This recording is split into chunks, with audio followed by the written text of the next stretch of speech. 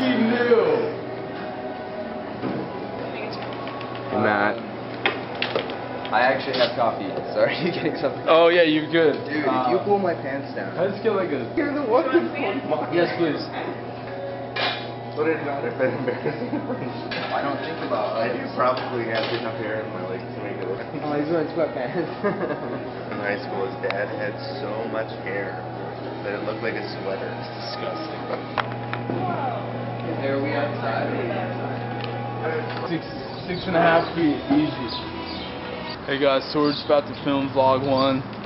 It's uh, what day is it? Tuesday, June 27th. Got some tea. Ellie's got some kind of weird beverage. I don't know what it is. Flash looks like brew. Looks like peach Flash tea. brew. Best kind of coffee. Don't settle for cold brew when you can have flash brew. Too close to the camera? Can you see me? So yeah, we're gonna be answering some questions every uh, every Tuesday. We're gonna be filming these vlogs, and uh, we hope to answer the questions you guys ask on Saturdays at Spectrum. So uh, yeah, we hope you enjoy it. Sweet.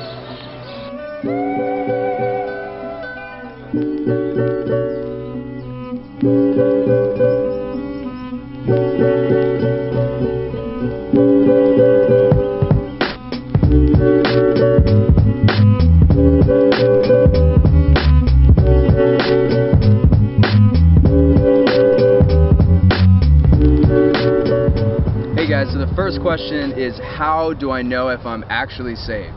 And uh, I think that, that that's a really good question. I think that when you look at the Bible, when you look at 1 Corinthians chapter 12, verse 3, I believe, it says, No one can say that Jesus is Lord except by the Holy Spirit. And so if you're able to say that and you're able to mean that, you believe it in your heart, then it shows that the Holy Spirit's at work in your life.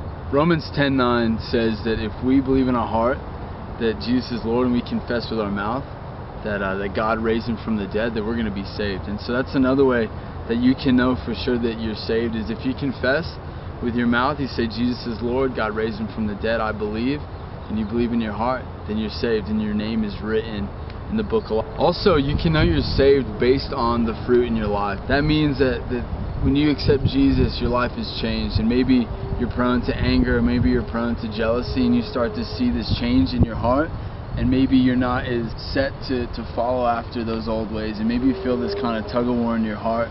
That means that God's working, and so you know you can know that you're saved based on the fruit in your life and kind of the changes that you see because of the decision you made to follow Jesus. The follow up to that question said, Will I feel a difference?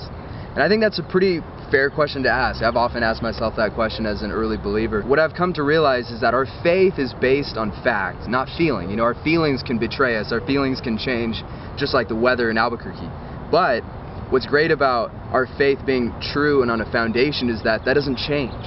And no matter how we feel, we can still know that God's promises are real and that Scripture is true. And what the Bible says, we can take it to heart that we're children of God, even on days when we don't feel like it. And you may be watching this and you may have had a bad day or a bad week and you feel like, wow, my sin has separated me from God or the circumstances around me have caused God to back away from me and, and I don't feel like a child of God. I don't feel like a Christian, but Last time I checked in the scripture, it says that nothing can separate you from the love of God that is in you, in Christ Jesus. So you could take confidence in that, no matter how you feel, on the good days, the bad, the highs, or the lows.